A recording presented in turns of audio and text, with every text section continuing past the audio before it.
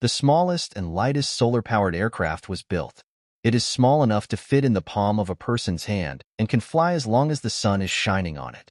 Micro air vehicles, MAVs, are insect and bird-sized aircraft that could be useful for reconnaissance and other possible applications. However, the biggest problem MAVs currently face is their limited flight time, which is generally around 30 minutes. Very lightweight and solar-powered flying robots are coming. Researchers have developed ultra-lightweight, solar-powered flying robots to overcome the limitations of small-scale drone flying vehicles. Weighing only 4.21 grams, close to the weight of a sugar cube, the aircraft named Coulombfly can fly in natural sunlight conditions thanks to its lightweight rotary engine.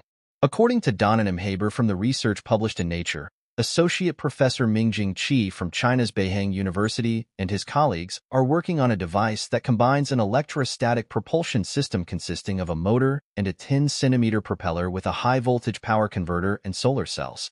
Their aim is to overcome some of the limitations associated with the current generation of tiny flying robots, which, while impressive in scale, tend to have flight times limited to 10 minutes.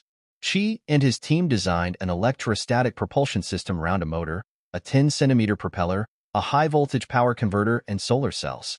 The motor consists of a rotor and a stator. The stator combines eight pairs of alternating positive and negative electrodes arranged in a ring. A brush is attached to each electrode, which transfers the charge to the rotor blades. When a high direct current voltage is applied to the electrodes, the resulting electrostatic fields drive the rotor and its blades pass alternately through each positive and negative electrode transferring the charge.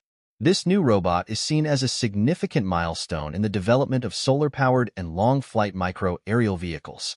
Using an electrostatic propulsion system for flight could be an innovative and effective method for micro-aircraft and nano-aircraft. Thinking that even smaller micro-aerial vehicles would be possible, Qi and his team produced the prototype of this robot with a wingspan of 8 millimeters.